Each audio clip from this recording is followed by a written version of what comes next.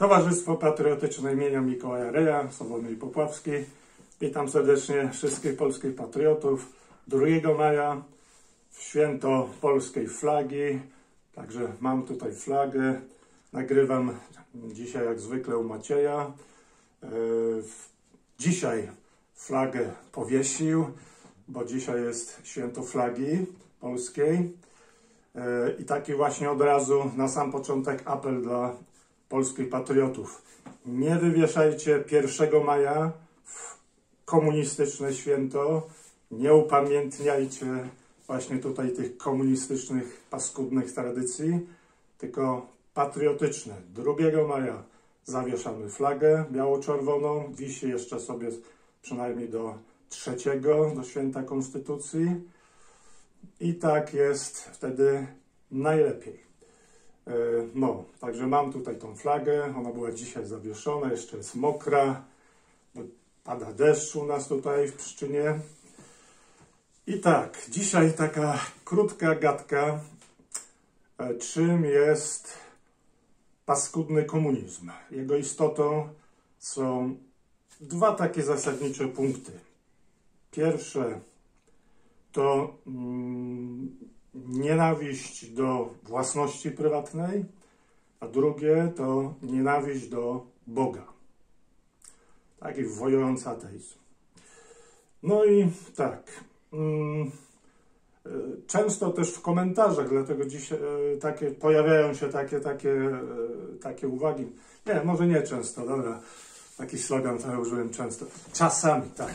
Tacy, tacy neokomuniści się odzywają u nas na kanale i bronią, a wręcz nawet tutaj atakują, bronią komunizmu i wręcz atakują tutaj ten system demokratyczny, jaki mamy w Polsce.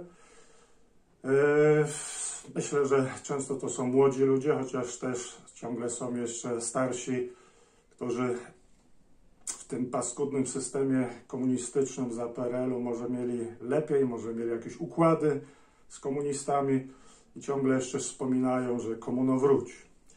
Dobra, a więc dzisiaj, dzisiaj yy, w ten sposób. Mm, Dwie, powtarzam, takie paskudne zasady komunizmu. Nienawiść do własności prywatnej i nienawiść do Boga. E, Komuniści chcieliby de facto, żeby e, była taka swojego rodzaju jakaś wspólnota jaskiniowców, dzikusów, którzy wszystko mają wspólne. No i wie, pomyślmy sobie nad tym, do, do czego by to prowadziło. No, człowiek normalnie pracuje, z, odkłada sobie, zbiera, buduje, kupuje coś.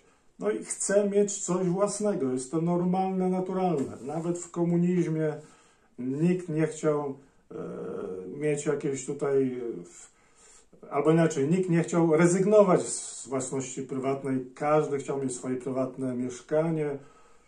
Młodzi to nawet nie wiedzą, że żeby mieć tego paskudnego malucha polskiego Fiata małego, to trzeba było nie, nie tylko, że mieć pieniądze. Ha, pieniądze nie wystarczyły.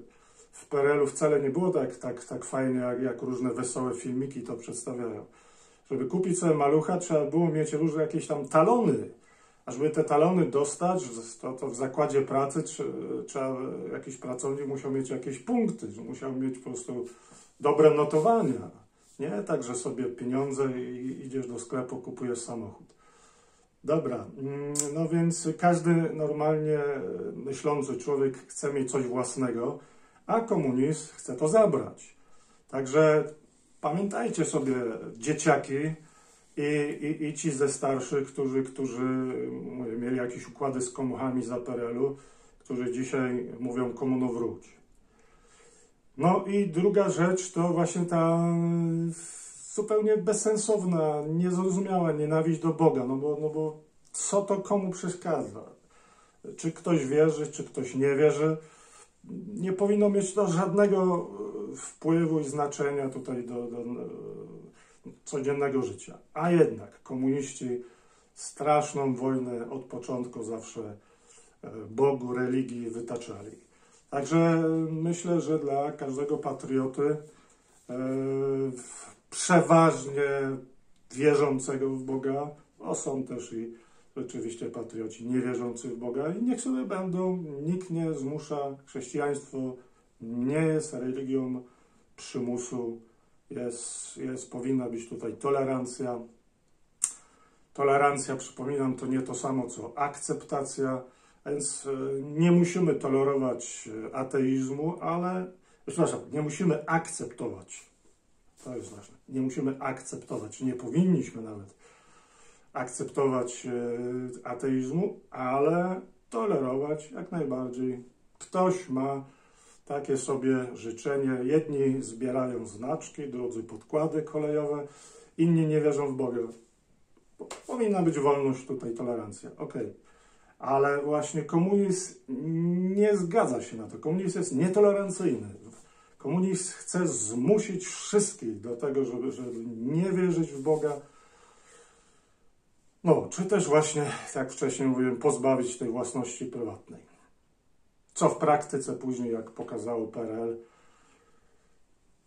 dochodziło do tego, że co niektórzy ubecy, szczególnie zasłużeni w mordowaniu, torturowaniu polskich patriotów, czy jacyś inni komuniści, sekretarze różni tam partyjni, stawali się właścicielami jakichś tam większych domów, willi i tak dalej, samochodów lepszych. I summa summarum tworzyła się też taka pewnego rodzaju burżuazja, arystokracja, której komuniści na swoich sztandarach nienawidzą. Więc totalna buda. No, a chcę jeszcze powiedzieć coś takiego na koniec, zaraz kończę tą moją gadkę. E, coś takiego. Mm, jest taki pan w muszce, starszy pan w muszce, ze skrajnej prawicy, bo już wiecie o kim mówię, który, który wszystko zaraz tutaj chce przezywać, co się dzieje teraz w Polsce od komunizmu.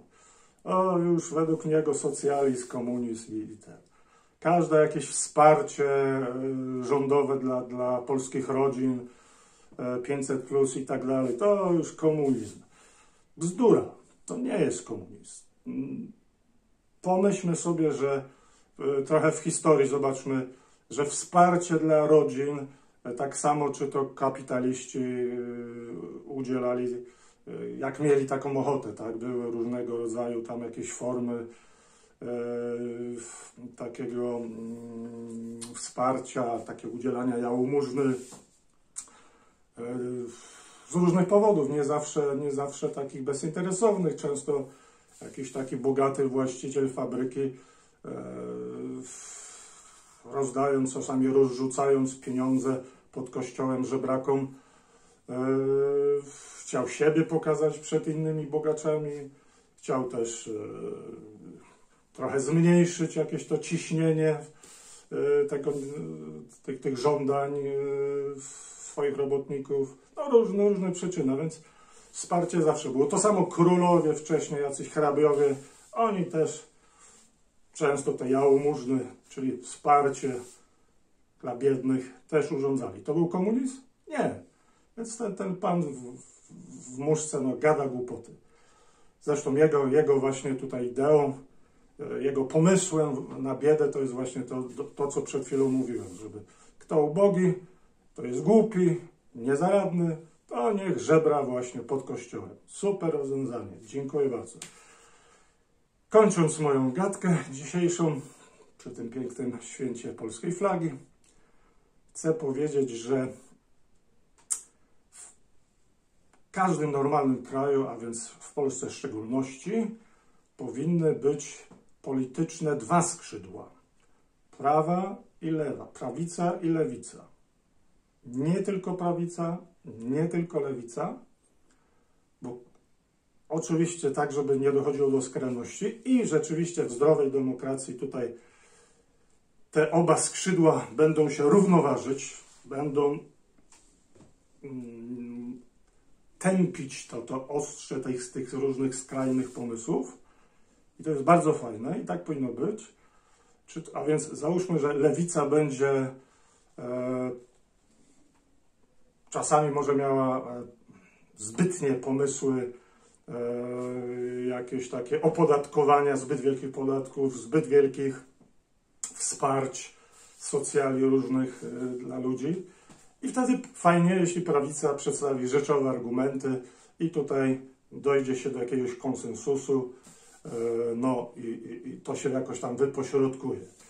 E, Z kolei fajnie, jak prawica będzie miała jakieś, jakieś świetne plany na, na mm, rozwój gospodarczy Polski, no ale lewica tutaj wtedy fajnie to e, jakoś skrytykuje. Chodzi o krytykę konstruktywną, nie taką bezsensowną, totalną opozycję, jaką dzisiaj mamy, nierzeczową i tak dalej. No, tak samo jeśli chodzi o lewicę, to absolutnie nie chodzi mi o tą post-PZPR-owską partię, która dzisiaj się nazwała lewica. To są komuniści, marksiści, oni powinni zniknąć ze sceny politycznej Polski i powinna się pojawić taka naprawdę patriotyczna polska lewica, nawiązująca do fajnych przedwojennych wzorców, do PPS-u. E, Ja jako Piłsudczyk to tutaj się też utożsamiam właśnie z taką lewicą patriotyczną.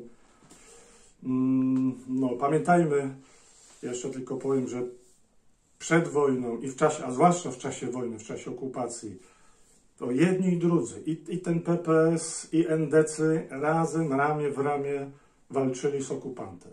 Walczyli z niemieckim okupantem, a potem bolszewickim, sowieckim. I to jest, to jest właśnie tutaj ten wzorzec, do, uważam, do którego powinniśmy dążyć. Dziękuję bardzo.